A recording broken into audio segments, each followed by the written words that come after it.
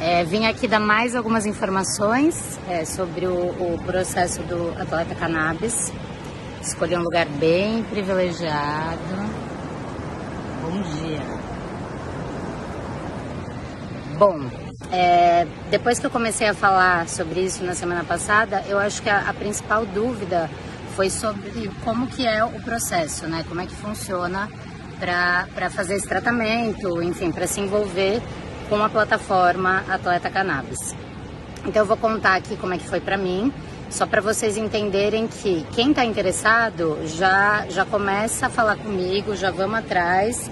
É, eu vou ajudando a direcionar, né, fazendo essas pontes, porque demora um pouquinho, né? Então assim, no momento eu estou um pouco ansiosa porque eu estou quase chegando lá.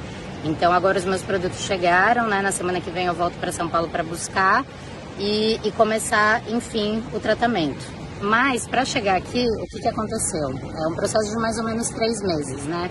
Então é, existe esse papo inicial, é, muito para entender, né? Quem é você, seus hábitos, é, o que, que você busca, qual que é a sua rotina esportiva e tudo mais. Depois desse primeiro papo, é, tem uma consulta médica, né, com especialista.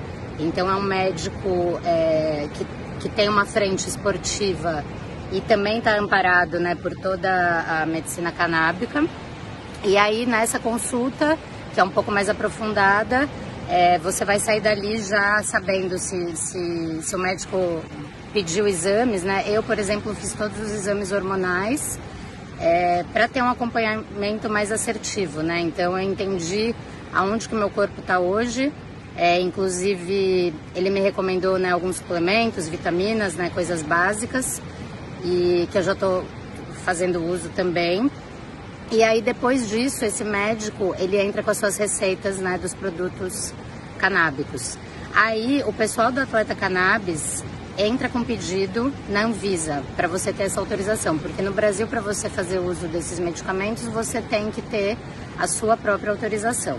Esse processo da Anvisa demora uns 15 a 20 dias, né, para eles liberarem. E aí só depois disso é que você consegue, né, comprar os produtos. E aí depende muito se eles já estão aqui no Brasil, né, porque existem marcas brasileiras e existem muitas marcas gringas.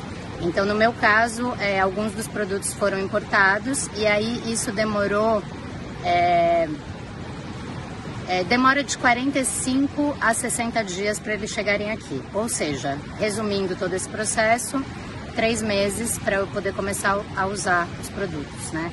Então, é, reforçando, quem está interessado, me chama aqui. É, eu estou aqui para isso. É, porque daí a gente já pode, eu já posso conectar vocês e vocês já, enfim, começam esse